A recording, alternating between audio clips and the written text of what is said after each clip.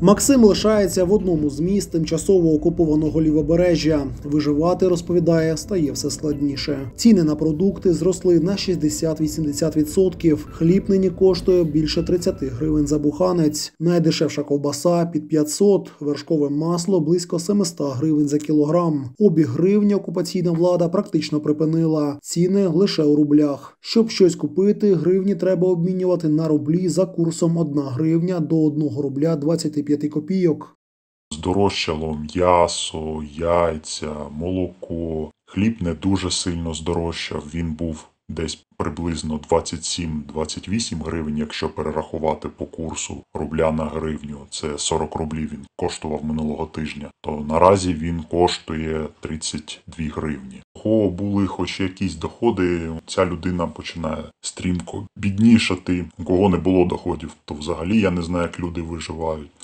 Виживати складно і жителям Гладківської громади, розповіла місцева староста Вікторія Ткаченко. В наших населених пунктів не так багато магазинів. Е, Це я вважаю дуже величезна проблема, тому що залишилося дуже багато людей, які підтримують е, саме Україну, і вони е, не брали російські кошти. І як їм сьогодні жити, цим це дуже буде величезна проблема і велике питання.